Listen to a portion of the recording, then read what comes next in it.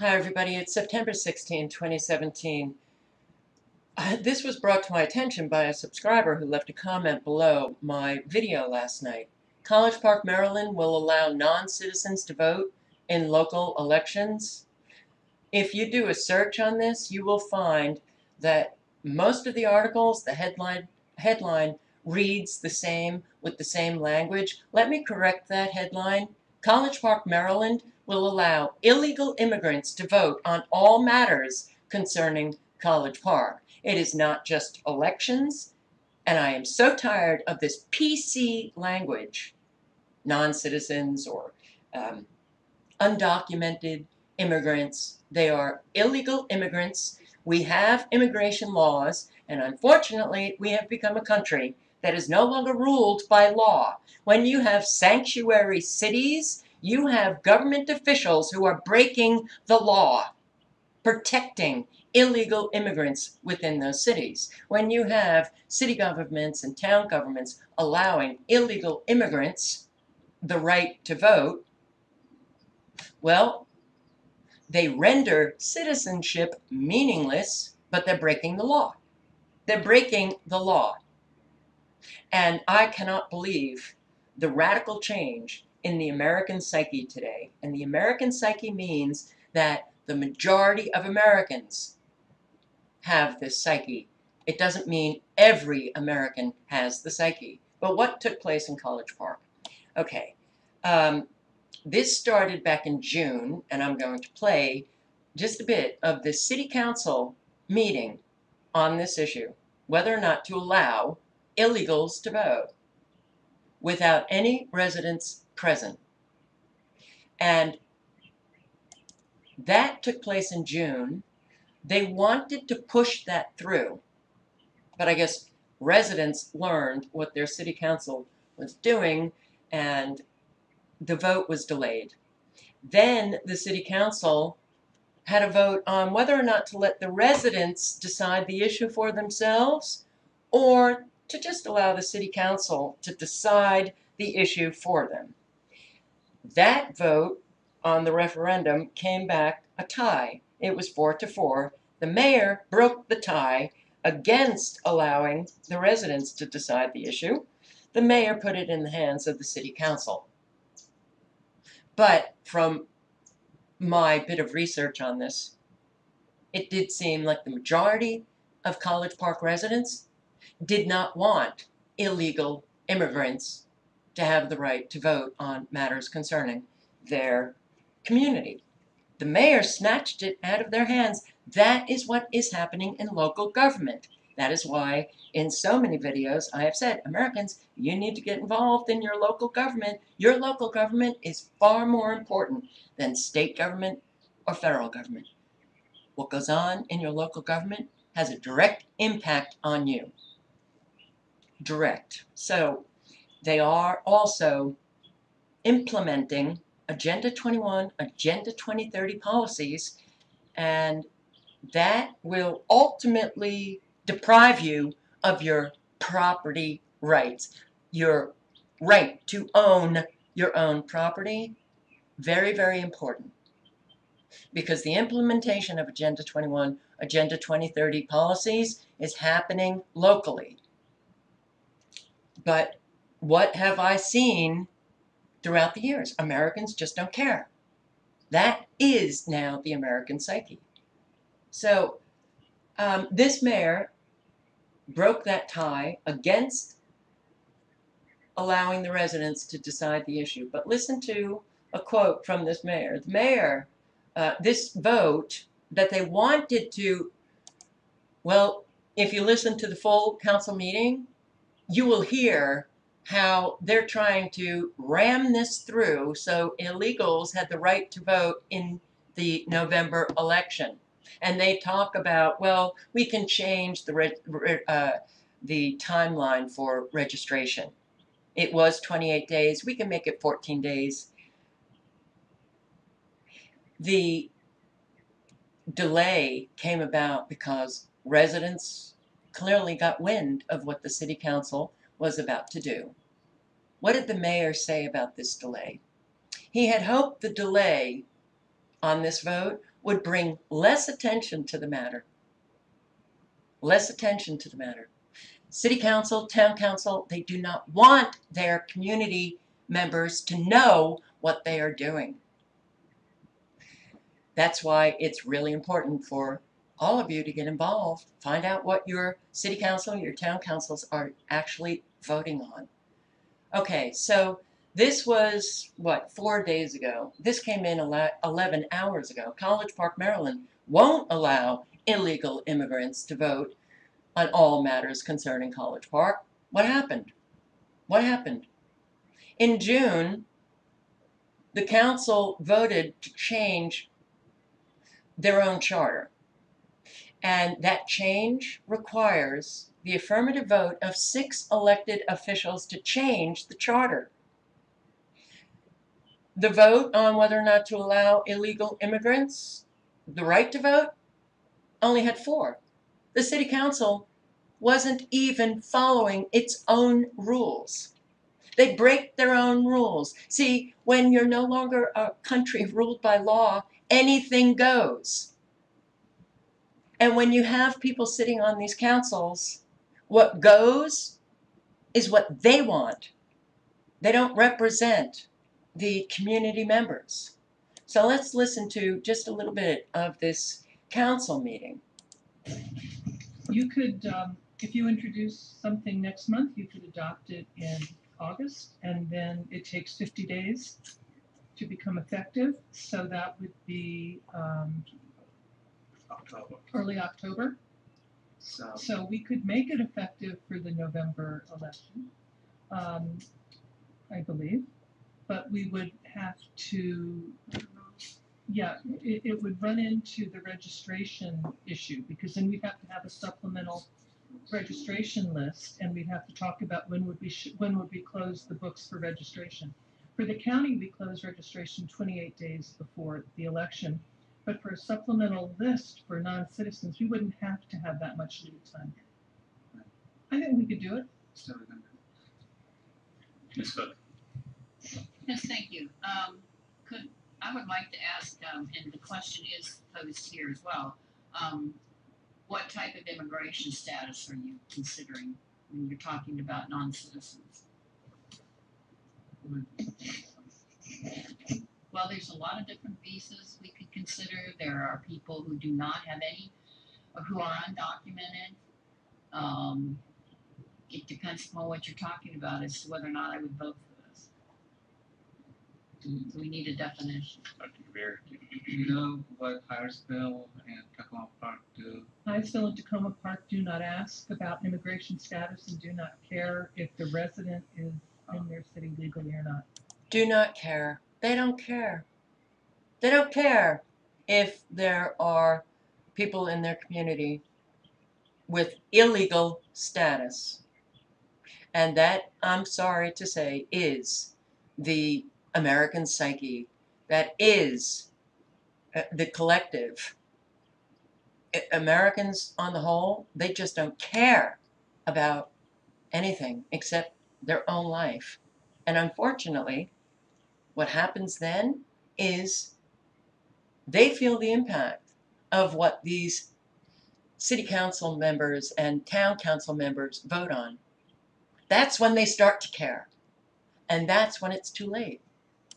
uh, if I recall when we talked about this, and we did bring this up somewhat in two thousand fourteen, and one of the challenges that was raised, I think, by Mr. Rosen perhaps by Ms. Miller as well, is that the challenge of, of, of us getting into the business of determining who does have legal status. So they're, they're of, of asking for, it, it, it would be logistically and administratively simpler for us to just not, not, not, not care. Not care. Yeah, let's laugh about it. We just don't care. Are you kidding me? I have to say, guys, this is the condition of the American people now. They don't care. And that leaves all of us having to live a reality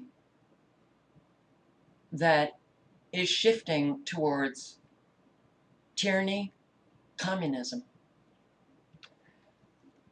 Now, does it not undermine the value of citizenship when you have sanctuary cities, uh, cities that protect illegal immigrants? When you have munis- uh, municipalities, which apparently 10 in Maryland allow illegals to vote, when you have city council members and town council members allowing people to vote who are illegal, that is their status, does it not undermine the value of citizenship? Of course it does. The path to citizenship is somewhat arduous depending on the individual. What is the path to citizenship in our country? It is not allowing a city council member to just, well, here you go. You have all the rights and privileges of a citizen, but you don't have to follow the law. Department of Homeland Security site, natural, in, uh, naturalization information. Um, before an individual applies for naturalization, he or she must meet a few requirements.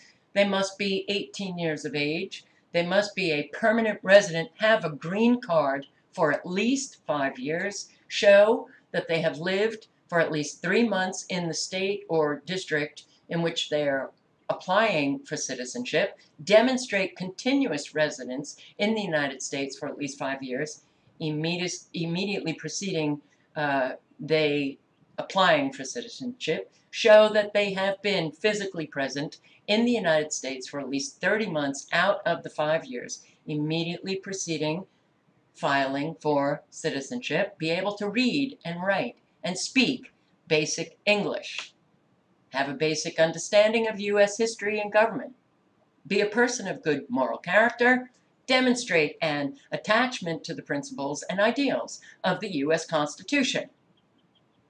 And what exactly do they have to do? They have to take tests. They have to take a speaking test. An applicant's ability to speak English will be determined by an, uh, an officer. Reading test. An applicant must read out loud one out of three sentences correctly to demonstrate an ability to read in English. A writing test. An applicant must write one out of three sentences correctly. A civics test. There are 100 civics questions on the naturalization test, and they have to pass that test. And I can guarantee you that American citizens who were born here probably couldn't pass that test. So, you have city council members, you have town council members just deciding for themselves, hey, let this illegal just have all the rights and privileges of a citizen without going through this whole process. What a slap in the face to all of those who have come here to our country, who have gone through this process, and who, well, one of the requirements is you have to take an oath of allegiance to the United States. You do have to understand your rights and responsibilities as a U.S. citizen. And unfortunately, those what, what's the responsibility of a U.S. citizen? To just not care and laugh. That is the responsibility of Americans today. The oath of allegiance. It means that people from other countries who go through this process and actually take an oath of allegiance, their allegiance is to the Constitution. They have adopted the uh, the values and traditions of the United States. Now, you can, um, you know, make all of the arguments that you want. We never had a constitution. We never had any values. Um, and I could also argue along with you. But all I am talking about is Americans don't even care about the law anymore. And what happens when you are somebody who does care about the law, you get called names. I'm going to let you listen to uh, the city council meeting that did involve residents on this issue and hear what they have to say. It's frightening what has happened because Americans are really revealing themselves as a people that really are so incredibly dumbed down, so immature. They can't argue the issues.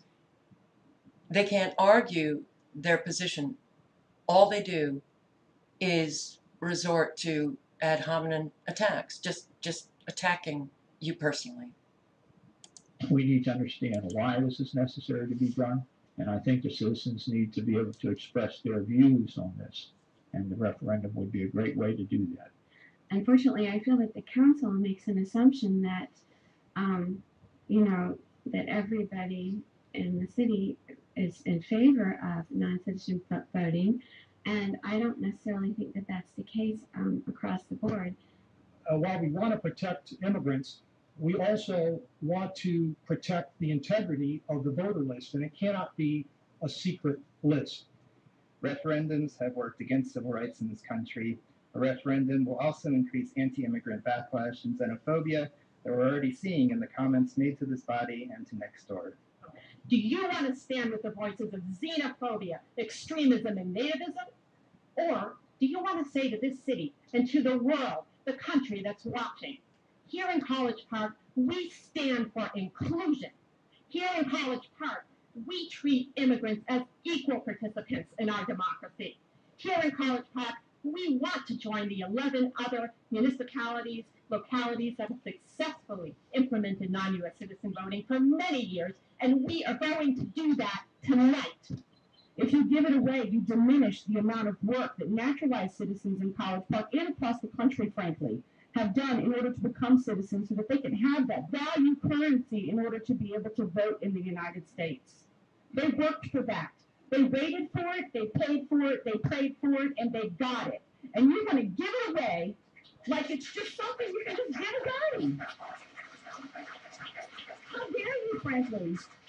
And anybody who supports it should frankly be ashamed of themselves, honestly. You really should.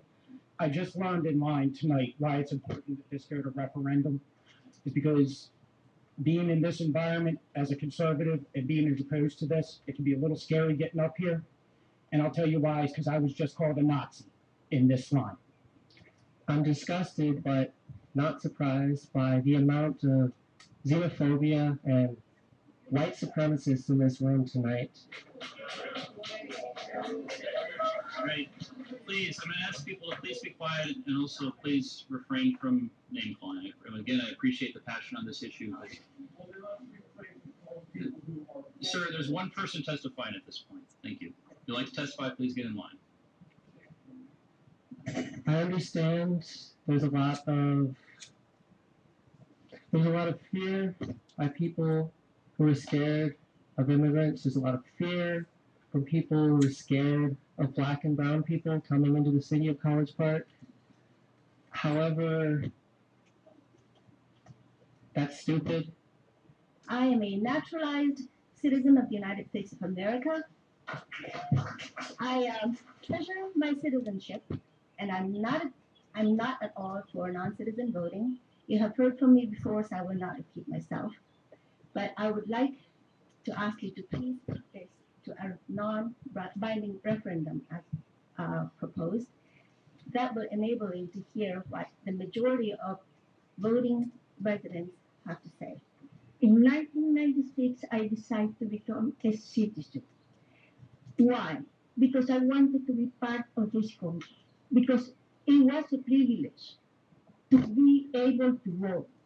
And in that way, I opposed to this charter because we all, all the residents of the college park, to decide who, if we agree or disagree. And there will never be pro- any problem. But as a privilege, I encourage you to postpone this until all the residents can vote on this. if you vote against this charter resolution or you vote to put it to a referendum or to delay it, does that make you a racist or a bigot or a xenophobe? No, it does not. but it does mean you will have missed a huge opportunity, I think. An opportunity to take an affirmative stand against the politics of exclusion and hate. Any delay of this issue will basically just magnify the problems that have already been existed and like the xenophobic comics and some of the other very, very negative comments have been made about this resolution and the potential consequences of it. Uh, civil rights is not an issue that should be put up to popular vote. If we voted on civil rights issues in the past, it's very unlikely, as Elena said, that many of the people on our council would even be eligible to be on city councils or hold elected positions in this country. I am in support of the Charter Amendment to extend voting rights to non-citizen residents. I am in support of the city acknowledging that I am a valued member of the community, and I'm in support of the city being inclusive, in, especially during this intensely divisive time. Yeah, I, there's too many unanswered questions for me. Uh, so my first impulse is no. Uh, we need more time to, to, to let you answer all these questions for us. So we go to these schools, we live in this community, we use the library, we are all here together, and you know, um, we should really let love trump hate.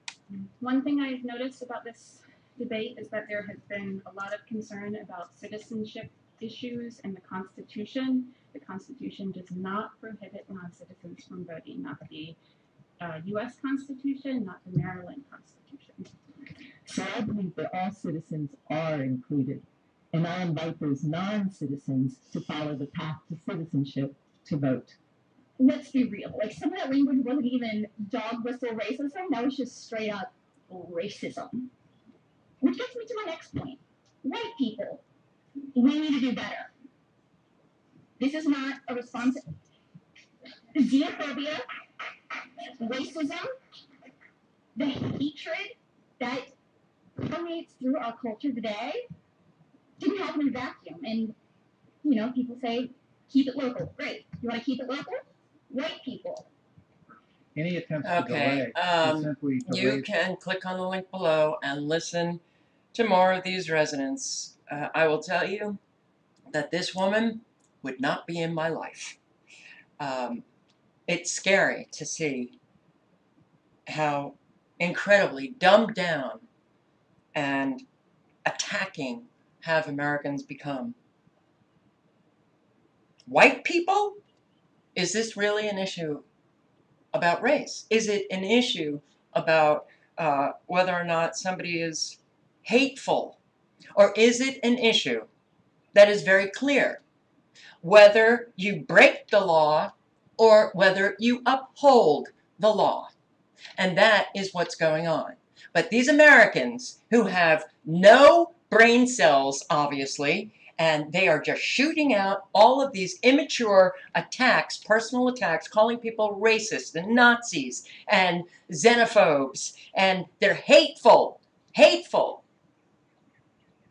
And they think that voting to allow illegal immigrants will reduce divisiveness. They are creating the divisiveness that they talk about, that they hate, apparently. They're the ones who are creating it. This is very, very upsetting. And again, I am going to say that, you know, you, you listen to these residents, that man who said, you know, it's actually scary to come up here to say, you know, I want uh, the law to be upheld. And that's essentially what he was saying. But no, you hate brown and black people. If that were the case, if white Americans hated brown and black people, we would see white Americans out on the streets protesting this naturalization process, and they would be protesting to only allow white European immigrants to naturalize. But you don't hear that. That's not what's going on. What is going on is whether we uphold the law and continue to be a country ruled by law, which unfortunately, because of these Americans, we are not,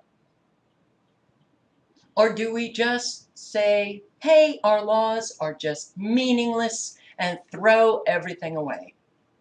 All links are below.